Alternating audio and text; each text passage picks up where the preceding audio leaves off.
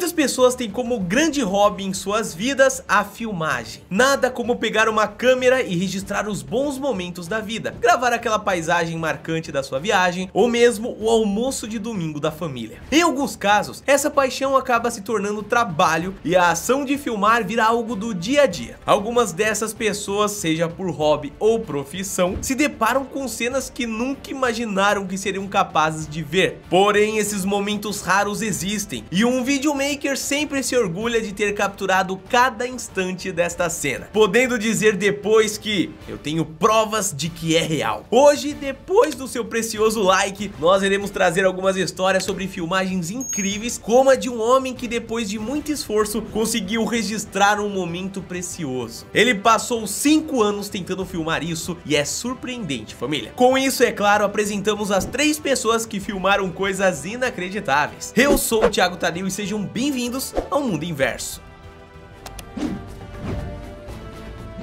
O raro tubarão tapete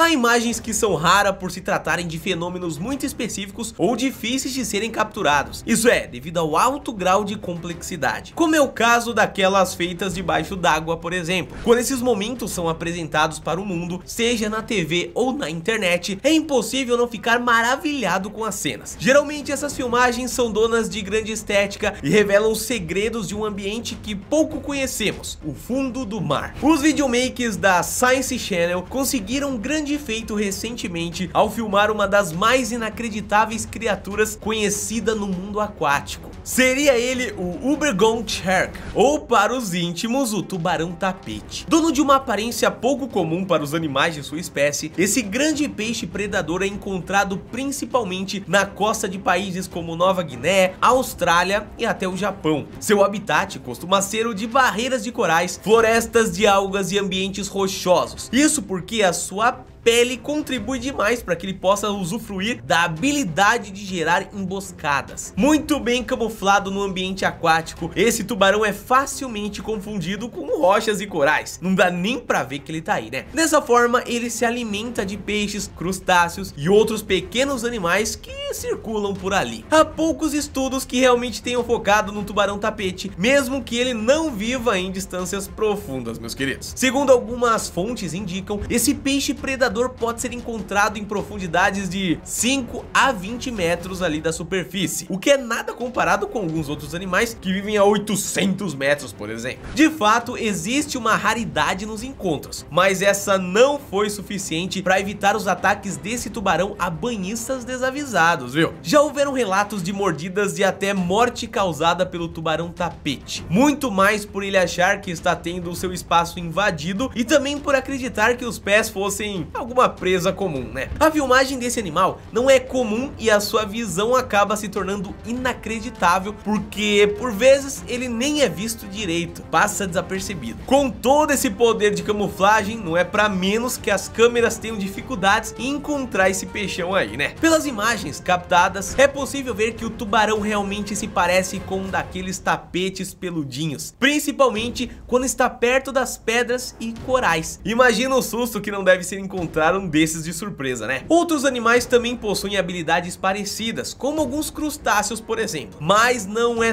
todo dia que se vê um animal stealth que pode chegar a 3 metros de comprimento, né? É um gigantão aí que muita gente nem conhecia.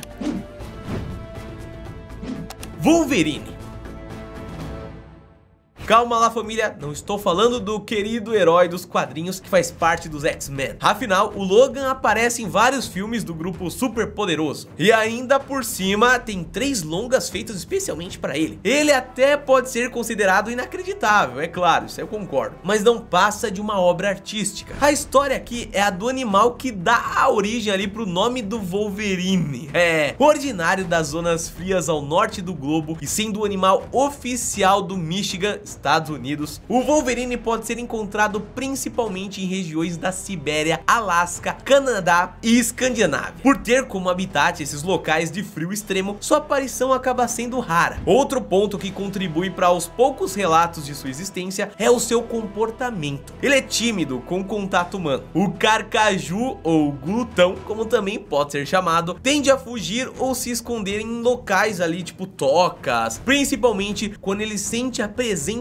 de nossa espécie, ou de outras também, né? E bom, isso já torna difícil a filmagem dele, né? Somando-se a isso, por ser um caçador noturno, é ainda mais difícil conseguir uma imagem em alta qualidade. Pensem na seguinte situação, você viaja até um lugar frio, como a Sibéria, por exemplo, que já registrou menos 67 graus, com uma câmera na mão para tentar durante um bom tempo encontrar um único Wolverine sequer. Parece uma loucura, né? Porém foi exatamente o que Andrew Musk fez durante 5 anos. O homem entre idas e vindas caçou, né, literalmente, uma imagem do Wolverine no Canadá durante boa parte dos últimos anos, sempre indo para o local inóspito onde poderia encontrar o glutão e capturar poucos segundos como um hobby, será? Mês que não teve todo esse trabalho apenas por paixão não, meus queridos, se era o que você estava se perguntando. Mas também por amor à sua profissão. Ele realizou esse trabalho para um documentário que foi vinculado ao CBC Canadá, sendo sua função a de videomaker. Ele era o responsável por produzir as cenas e como um grande guerreiro, ele conseguiu filmar uma das coisas mais incríveis da natureza. Não só pela raridade que o Wolverine acaba tendo, mas também por ser uma criatura de muitas peculiaridades e ainda estar carregando um filhote. Como é possível ver nessa imagem? O animal parece uma mistura de um grande esquilo com um urso pardo. Este animal se assemelha muito ao panda vermelho, como você pode ver aí na imagem, só que com uma aparência bem mais agressiva, né? Suas grandes garras e seus dentes ferozes são capazes de assustar lobos e até ursos, família. Há relatos do Wolverine brigando bastante por comida contra esses dois predadores que eu falei, muitas vezes sendo uma espécie de abutre mesmo que chega pra roubar a caça dos rivais. Olha que bicho sapeca, né? Mas bom, uma coisa é certa, sinto na ficção ou até na realidade, não é muito bom a gente mexer com o Wolverine não, viu? Uma beleza natural. Belezas naturais não são difíceis de serem encontradas ao redor do mundo. Na maioria das vezes, é preciso andar pouco para se deparar com belas cenas da natureza, mesmo que o movimento urbano nos afaste um pouquinho ali disso tudo, né? No Brasil, por exemplo, as belas praias são um grande exemplo dos recursos visuais que temos para oferecer. Sendo assim, não são raras imagens desse ambiente que nos remete tanto a um clima calmo e relaxante. Porém, não é possível dizer a mesma coisa de fenômenos naturais. Esses ocorrem de tempos em tempos e na maioria das vezes vão depender de situações das quais o ser humano não tem controle. O impacto deslumbrante e perigoso de um vulcão em erupção, a bioluminescência nos mares que parecem pisca-pisca de Natal ou as curiosas chaminés de neve. Esses eventos podem até ser comuns, mas estão fora do nosso controle e quando acontecem, devem ser apreciados. Agora, e quando dois eventos raros e espetaculares ocorrem ao mesmo tempo? Foi o que o astrônomo amador conseguiu capturar na Escócia. O homem de nome impronunciável, mas que está aparecendo na tela, viajou para uma região desértica, somente para capturar um fenômeno conhecido como nuvens noctilucentes. Noctilus, noctilucentes. É isso aí. Basicamente, esse é um evento em que nuvens mais altas da atmosfera, compostas por cristais de gelo, aparecem de forma brilhante nos céus, principalmente quando o sol está se pondo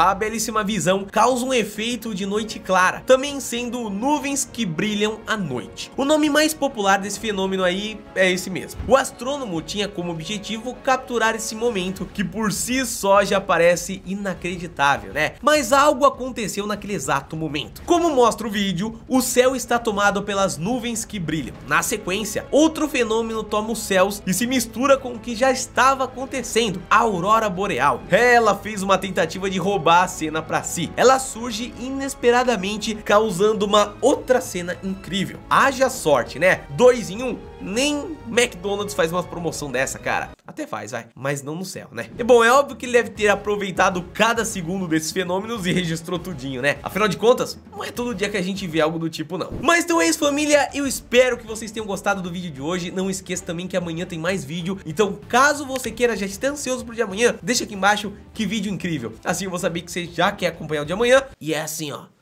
Galera que tá firmeza aqui na família, hein? Um abraço, fica bem e até amanhã. Valeu!